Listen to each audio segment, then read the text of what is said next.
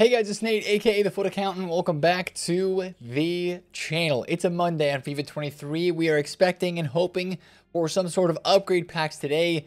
Today could really change everything on this game if EA Sports want to turn around and do a complete 180 on the SBC content quality that we have had recently. Yesterday, another quiet day of content, not too much else going on besides an icon SBC and a regular pack SBC. Now, today on Monday, we know Mondays are upgrade pack days, but the big question is will EA release a hero pack? Will EA release an icon pack or any sort of other gamble uh, pack SBC that we could see bring some hype to the menus today? I want to take a look at fodder because people seem to be investing hoping, or maybe there's some sort of leak that we just don't know about yet, about some sort of gamble pack. We'll take a look at fodder. And I also want to take a look at the Marketing's World Cup Stories cards because we had a pretty solid mini release yesterday, right? The SBC content was kind of mid, but the Laporte is pretty dope. Giroud, Nagatomo, nice cards, and EA dropped more swap tokens yesterday, and we now have over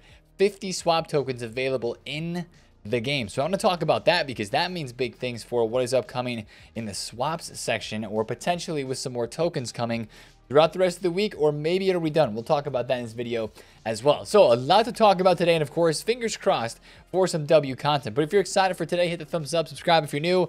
Let's talk about what kind of upgrade pack we could see today. Again, this is a could type of scenario. We just know that Mondays are big time upgrade pack days. All of the other upgrade packs that we've had since Black Friday are gone. It's time for EA to drop something fresh and just give us something hype to try to go out and, and to gamble on, right? These are the packs that everybody is known to love. And I think EA likes these packs too because they know that people like them and people drain their clubs and spend coins on these sorts of SBCs. Now, there's no new pack in the code, so it's not easy to point out, well, what SBC could we get today? Or obviously, it could be tomorrow, could be Wednesday, but at some point this week, starting from today, we hope to see an 89 max hero. We, we hope to see some sort of hero upgrade, some sort of icon upgrade along those lines. Now, these are packs we've already had, right? The 89 max hero we have already had. The 87 plus mid or uh, baby icon upgrade, right? We've had that as well. And we've also had the 86 plus World Cup or regular FUT Hero SBC. Now, the reason why I'm taking a look at three these three specific SBCs are EA could very easily re-release one of those today on the game, and that could be our big hype content that we get excited about. Now, could there be a brand new pack that we haven't even seen or heard about or talked about yet? Yes, but it would most likely be a player pick unless there's going to be some late pack code added today because every time there's a pack that is added into this game, you see it in the code, right? Nine times out of 10, we see it in the code before it drops in the game. Player picks don't have to be added to the code. Sometimes they just drop, you know, in the flash. But usually still with either of those two things happening, we get a leak about what sort of SBC is coming today. So watch very carefully on Twitter today. See if people are talking about leaks for a big time SBC, an icon, or a hero upgrade if there were something to drop along those lines today, of course, you would expect SBC fodder to go up. And that's why I'm, I'm saying, hey, take a look at fodder right now because as I look at the fodder market, some cards, specifically on the top tier, these 91 rated cards, have started going up. Benzema was 50K yesterday, right? 50K over the weekend. Saturday, you can see his price down here around 50K. Yesterday on Sunday, 50K and something the, flip, the switch flipped yesterday around content time. Benzema went from 51k up to 53.54, and you might be like, Nate, would the Puyol SBC do this to a 91 rated Benzema? I mean, there's a very, very slight chance that it would, but I mean, look at how downvoted the Puyol SBC is and the fact that only an 86 rated squad is the highest rated squad inside of the Puyol SBC. So I really doubt that there's a lot of true demand here for this card. I really think that what is happening here is there's some investing going on here. If you look at Benzema, if you look at Lewandowski, all these 91s are up a little bit, and your 88s have started to ever so slightly rise as well. And it kind of started you know, all throughout the day yesterday, right? If we look at Saturday, 88s were down here like 25, right? 25K, 26K. Now a lot of them are starting to hit 27,000 coins, some of them 28. They're starting to go back up a little bit as I think it's people investing. I really do think people are investing and hoping like we are for a big pack today. Now, there's no guarantee that we're getting a big pack today, right? We're talking about it, we're getting excited about it, and there's potential for it, but there's really no guarantee, guys, right? It's EA until we have a leak, until we have a pack code added it's really all up in the air. But today would just be the perfect day for them to flip the switch, like we've been saying, and to put a nice upgrade pack in the store and get us excited about the menus and get, get us excited about some sort of SBC on the game. So either of those three SBCs that we talked about, I think there's potential for it today. If a pack like that drops, what are you going to see? You're going to see that fodder, whatever's required, most likely go up because people are really, really, really jonesing for an SBC of that type on this game. I think the rest of the market too, you'd probably see some cards go down. Some of these World Cup Stories cards, we'll talk about them for a, a flipping opportunity today into content, but I do believe that a lot of these cards would probably end up dropping in a little bit of panic selling. And of course, if the SBC, like we've seen with some of the upgrade packs before, would have more than one segment as a part of the squad, there's tradable packs in return for those multiple segments, like in most other SBCs. So you would expect a little bit of supply hitting the market for the World Cup Stories cards as well. So that's something I'd be a little bit uh, careful with today. If you're trying to trade with these cards, there might be some panic selling heading into 6 p.m. UK, the first or the couple hours into that time frame, and even afterwards, because if people are expecting a big SBC today, or at least hoping for it, they might sell some of those cards or uh, anticipating supply from a big SBC, like we just kind of talked about.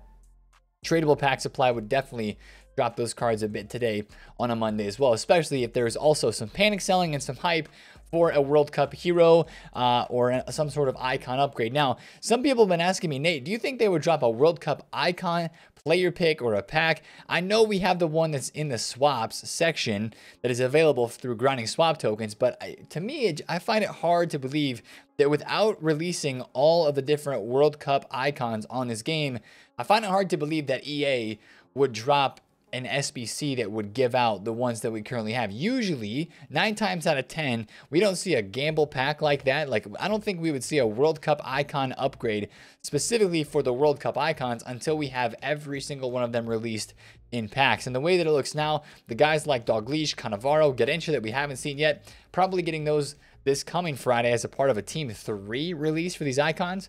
I guess. So that's the way that it looks right now. That's why I would stay watching the pack code, watch the tweets, watch FUT Sheriff tweeting out maybe some leaks today. That's that would be some information that would be very crucial and of course would give us a hint on what EA might do today with the upgrade pack. So of course, if it's a hero pack, watch for your selling and, and panic selling on hero cards or, or the World Cup heroes because you know, if people have the chance to pack somebody like a Marchisio from an upgrade pack and they already have Marchisio in the team, they might think, oh my goodness, I'm going to pack Marchisio. I'm going to sell him, which by the way, this guy is so rare. Like 1.59, and there's two cards to 1.7, like crazy. So you know, I think that World Cup heroes or icons would get panic sold a bit. And I think the market in total, if we got a big boy SBC like that today, that a lot of people would want to go out and do, even if it's not that great of value, people want something so bad right now, like a gamble SBC. I think they would overpay a bit to go and do it. So watch out for that today. That would cause some madness, but also some hype to the market at the same time. And then other content we can see today, right? Also today be a great time to stock up on gold rares and specifically gold non-rares because the SBCs for upgrades that EA have been releasing recently have been needing mostly non-rares apart from like the 81 plus double upgrades that we had during Black Friday last couple uh, last week I guess we've had a lot of the 80 plus upgrade we've had a lot of the um, I think it was a 75 or 78 plus player pick that required a lot of non-rares. I would go through and stock your club on min bid today with weekend league rewards being paid out today. That's going to bring a bit of supply to the market. And I think it'd be a great opportunity like it normally is on a Monday. Stock your club with some non-rares, whether it's an investment or whether it's you just want to get some upgrade packs done for cheaper. I would go ahead and get that done today as well. For the rest of Monday content, really not too sure what's out there. Maybe a player SBC, but we've had some consistent player SBCs over the weekend. We have a Showdown SBC that is still live, so I don't expect too much on that front. The Ziyech and, of course, the Ferran Torres are still here for another day, 10 hours. So we might not get a player SBC today unless there is a leak. So that's Monday content. Just the hope of some sort of gamble pack, like an 80 plus upgrade or some sort of upgrade pack along those lines. Um, I think is almost a guarantee. That's like almost uh, the type of content that we see every single Monday. But the gamble pack, which we'd be very excited for today, that is what is up in the air. So we'll see if EA want to do the business today and change everything, as people like to say, on this game with some content like that. Now let's talk market a bit more because a lot of you guys have been asking me, Nate, if the content's going to stay quiet, what are these World Cup stories cards? gonna do and how can we trade with these guys right now in this game because their prices have kind of dropped off over the weekend and now they seem to be a bit low will they go lower personally if the content is as you know kind of quiet as it has been the past couple of days on this game these player prices will probably be their lowest today Yes, you heard me say it today. If the content for this next week is going to be bad, we will look back on today as probably the low point for these cards. But if the content today is good, that would mean these cards are probably going to end up hitting their lowest either today after content, maybe tomorrow, maybe still on Thursday. Again, guys, I think that these cards and the pack weight on these cards is I mean, it's pretty good. It seems to be a lot better than the Road to the World Cup items from last week's promo. And it's not like these cards are live either, right?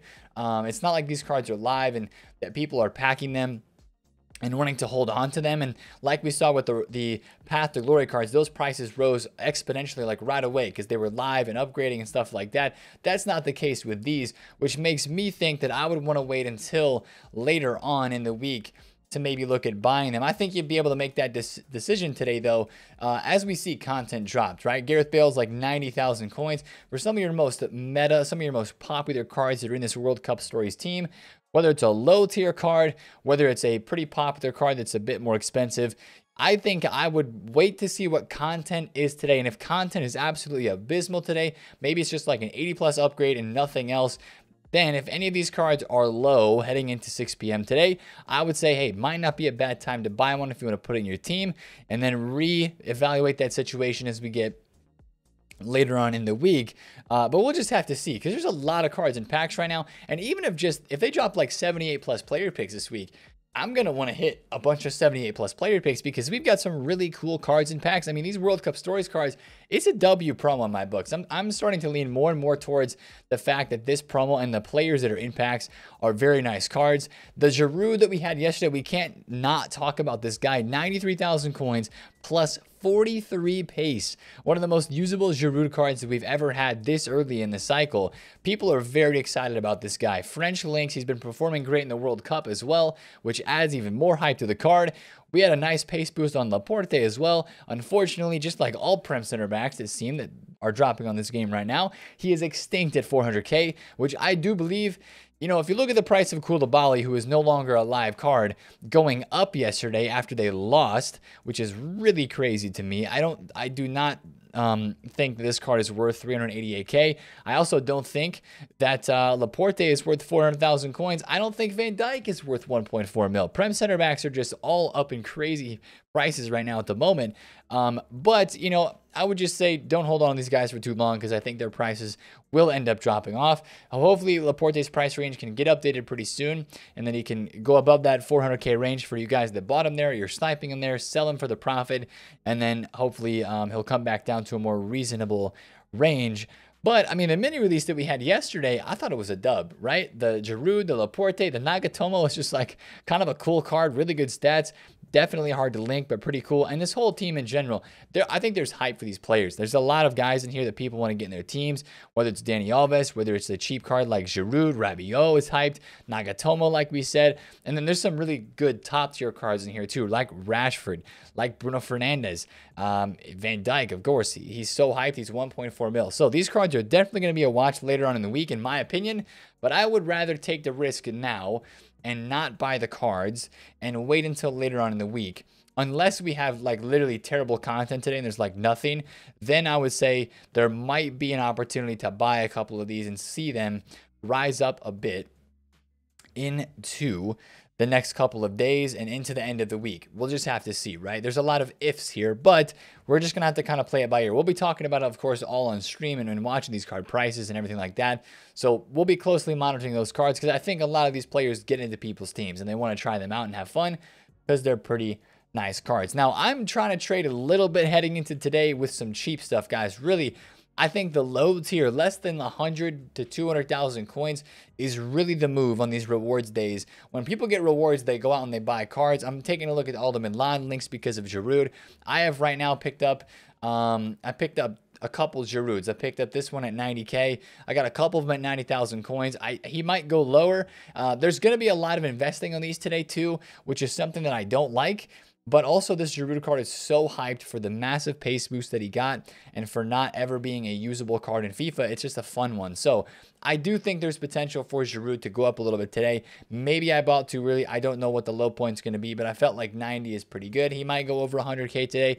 We'll just have to see again, if you're looking at this promo team and you're looking for a quick flip, I mean, well, first of all, if you're going to look for a quick flip, you don't have to look through this promo team. Just think about what people are going to go out and buy for their teams. Yesterday, I tweeted it out after talking about Theo Hernandez and guys like Vini and Kyle Walker uh, in yesterday's video for cards that could potentially rise. Theo Hernandez is the uh, case in point number one card that did so well yesterday. I bought Theo's at 23K, couple at 22. He exploded to 28, 29, sold him here, uh, and he's been around like 26K since then. So this might be another buy opportunity tonight. If you get this at like 24 or 25K during rewards, he might go up to about 30 with um, the AC Milan links being hyped. But again, Ronaldo is pretty low right now. Could Giroud be hurting his price? Absolutely. If you take a look at the graph, you see Ronaldo's been falling since content dropped yesterday, and he was 88K in the morning, and now he's 82. Um, and then you take a look at some of your other guys like Kyle Walker, maybe Vini Jr. Some of their prices have been moving a decent, uh, moving around a decent amount too. So you saw these nice spikes yesterday with squad battle rewards. I think there'll be some nice movements upward today on the market, but I like the low tier stuff. I really do.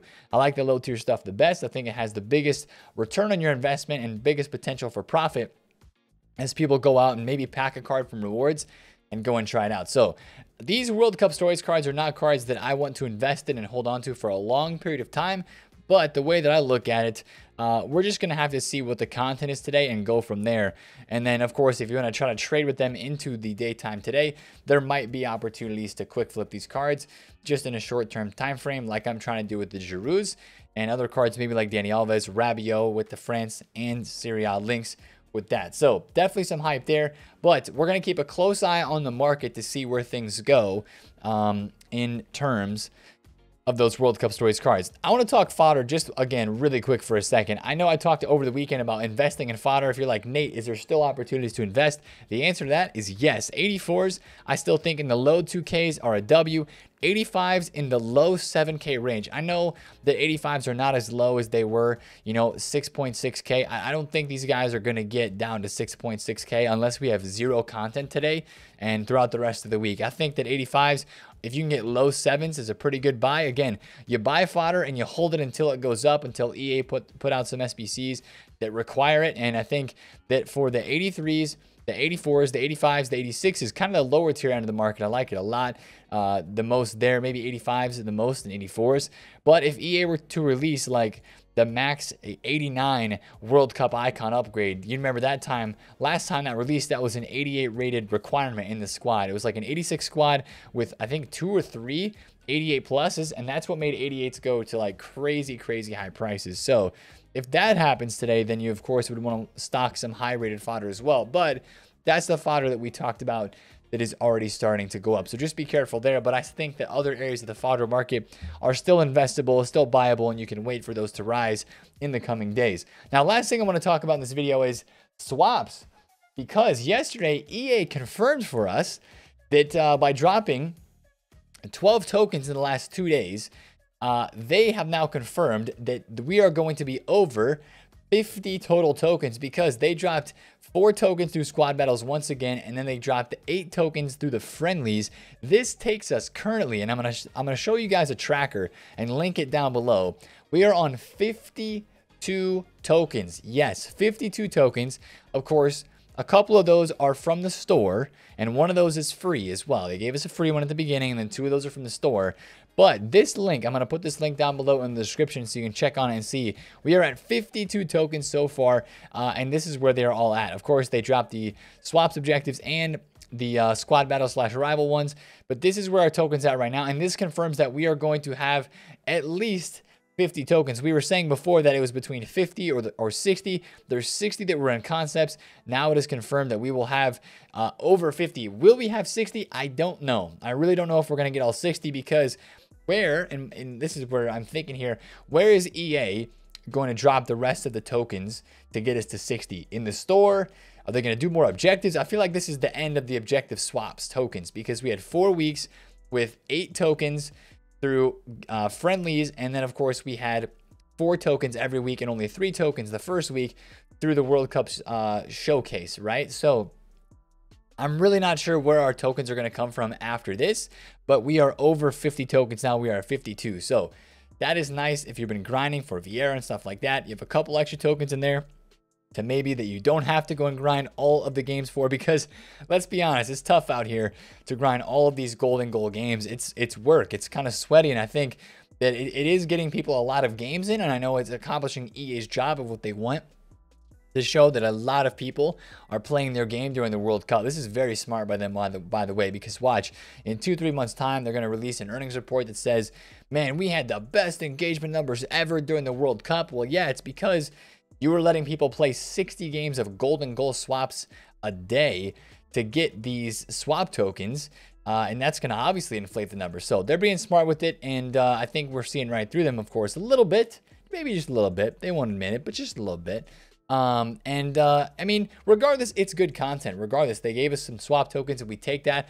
And now we've got most, if not just about all of the tokens that we need to go and finish our swaps grind. And there's still 17 days left before these go away, right? Is it 17, 30 days, 30 days left before these go away. And I think it's 17 days until the objectives expire. So it is nice to have all those tokens out there. Personally, I am getting closer and closer to another 84 times 20, which if you guys have 84 times 20s, I would say it's not going to get any better this week uh, than it is right now to open those, right? Because we've got the mini release that is now in packs. We've got the uh, promo cards. Now, actually, funny enough, EA messed up. You see here it says an additional four World Cup story player items have been added to FUT 23, and then it only shows us Laporte, Nagatomo, and Giroud.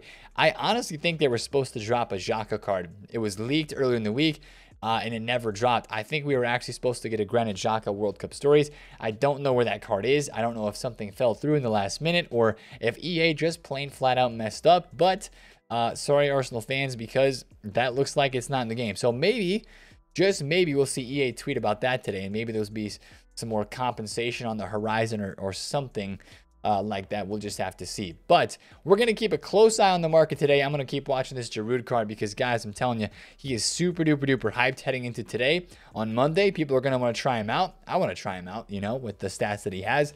But also, he's very supplied, and a lot of people are going to invest. So it's all about timing with this sorts of stuff.